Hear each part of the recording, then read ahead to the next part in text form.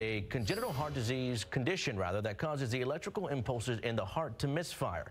People with the condition often need a pacemaker to keep their hearts in sync, but traditional versions are just too big for children with the condition. Ursula Perry explains how the tiniest of wireless devices is helping kids not miss a beat. The Anthony family loves a good adventure, sand sledding in New Mexico or strapped into a thrill ride. They are not going to let anything slow them down, not even congenital heart disease.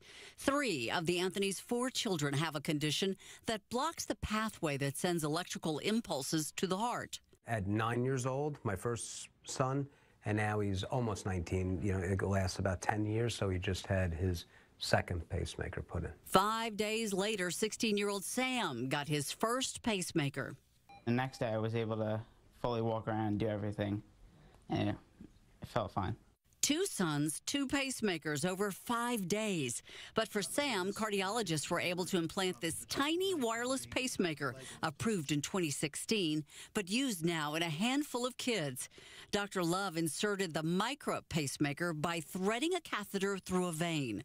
This pacemaker is entirely contained in the heart itself, and because of that, um, he'll be able to participate in sports and activities with really minimal uh, to no restrictions. Among other things, Sam's looking forward to getting back to the ball field and more family vacations.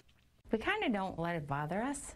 We, we travel a lot, we do a lot of crazy fun stuff, and not worry about the little stuff. The Anthonys say their 13-year-old son does not have this genetic heart condition, but their 7-year-old daughter may, and in the future she may need one of these tiny pacemakers. Ursula Perry, KSAT 12 News.